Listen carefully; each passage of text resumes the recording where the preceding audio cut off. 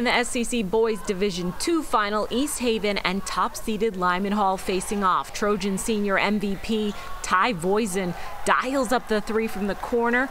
This thing was close early. East Haven looking good. Nick Fiorino with a strong move to the basket, keeping the Yellow Jackets out in front at halftime. Lyman Hall, though, not going away. Jaden Collingham makes a nice move, two of his eight points, and this thing went right down to the wire. Lyman Hall looking to finish things off. Sophomore Cam Pregano lethal from the land of three.